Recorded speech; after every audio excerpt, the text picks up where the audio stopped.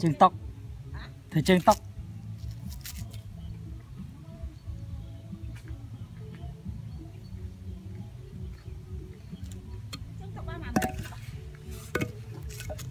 Đây kìa mày. Mà thơ từng quỷ. Thơ liền